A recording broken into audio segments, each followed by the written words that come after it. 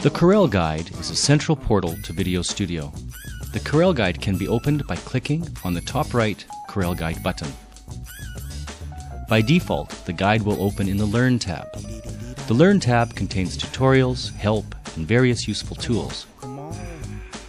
The Home tab contains Video Studio and Corel news and information. The Do More tab contains tools for video production. This includes templates, audio, titles, and tools. The Corel Guide is updated often, so check back for production tools. The Message tab will keep you up to date with software updates and important Corel information. Come on, come on.